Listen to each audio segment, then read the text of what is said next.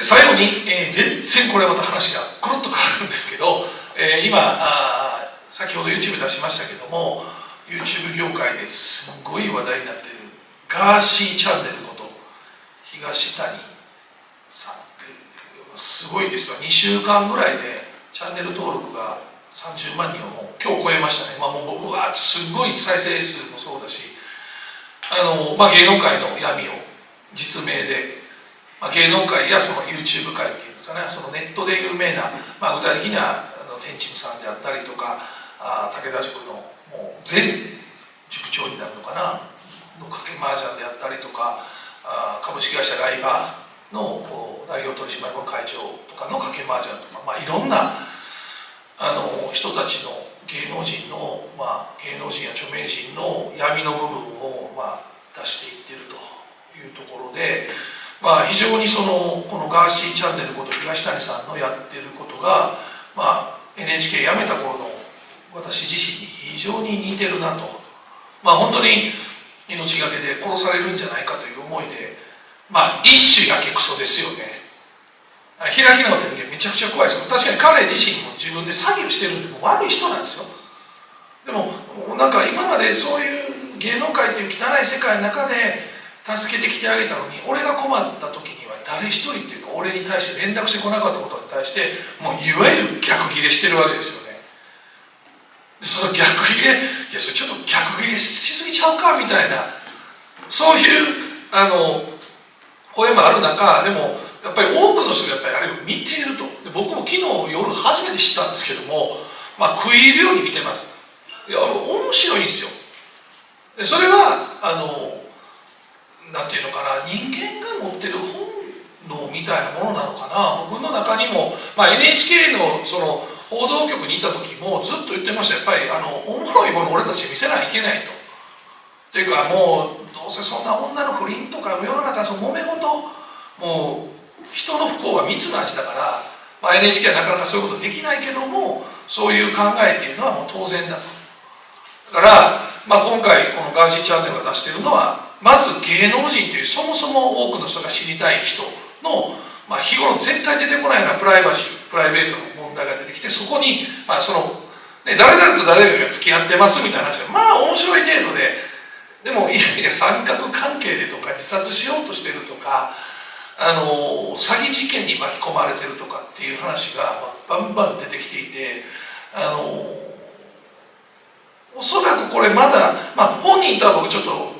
ダイレクトメールでワンワン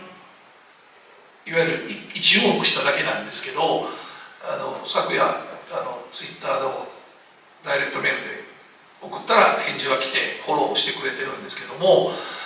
まあ政治の世界にも飛び火してくるんじゃないかなって期待は持ってます。だから僕自身が芸能の僕基本スポーツとかあの政治の方で NHK でやってましたけど、まあ、かつかといって芸能のことも知らないわけじゃないです。ずっと「紅白」の裏側とかって僕ずっと言ってる通りで全く知らない世界ではない。逆に言うと芸能界ももちろん政治家が絡んでるどっかで政治家に絡んでくるんじゃないかなと思ってますし、まあ、これだけ多くの YouTuber があのチャンネルを開設してる中皆さん苦労してる中ですね。たった2週間で僕のチャンネル登録数をもう多分来週には超えるでしょうね。もう今日だけでも3020万台が30万台変わってるのでとにかく面白いですよ。あの全部証拠付きで出てくるから。LINE っていうのがやっぱすごいですよ LINE っていうのがね。右と左相手と自分みたいなんでスッと出せるから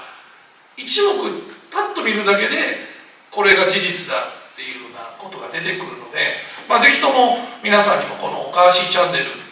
ガーシーチャンネルこと東谷さんのチャンネル、まあ、見ていただければあのテレビ局裏側みたいなものも見えてくるでしょうし。アンジャッシュの渡部さんもねいいね。おそらくこれが理由で、あの千葉テレビでせっかく復活したのに「お前調子乗ってんだよ俺とこに挨拶なんやんけ」っていうか俺に眠連絡がないからっつってもういきなり渡部さんの女関係を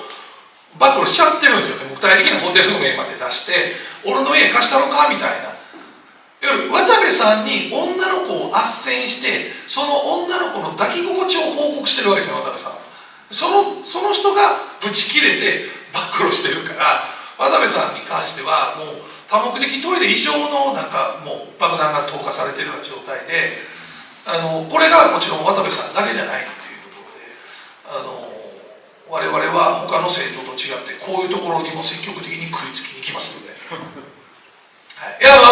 おそらくねこれはあの当然テレビ芸能人といえば NHK の芸能もかかってきますからおそらくどっかでつながってくると僕は思っているのでちょっとそのガーシーチャンネルの東谷さんとはあの適切な距離を保ちながら、まあ、もちろんね反社になる可能性は十分にある人なのでね詐欺をしていることはほぼ間違いないので、えー、世間的には反社になるかなと思いますので適切な距離を保ちながら彼と彼の持ってる情報なんかをしっかりと皆さんに知っていただく活動をしていこうと思っています。僕の方からは一旦以上です。